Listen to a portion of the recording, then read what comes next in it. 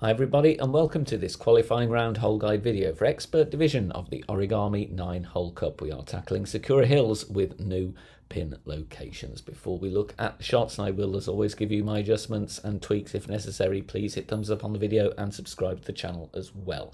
Check out the rest of the qualifying round hole guides in the playlist and on the channel homepage and join us here on Saturday for more of the same hole guide videos, new wins in the final round. Finally, keep your eyes open on the channel.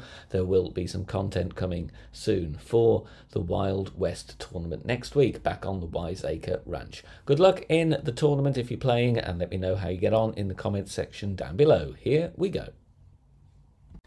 Brilliant opportunity here on hole number four. Keep the wind as usual below 8 miles per hour. So if you do have 8.1 plus with a Kingmaker, if you can swap to wind 4, it will increase your chances. Four back spin, one left spin. So then we add spin first and then top of the white ring touching the rough with the ball guide to the hole.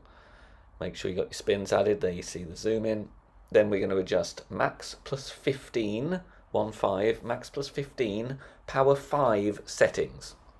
And the reason we're using max numbers and power 5 is just giving me the numbers that works for this shot. Doesn't really matter uh, that we're using max or indeed a high power setting. This is just the calculation needed to get the right amount of rings.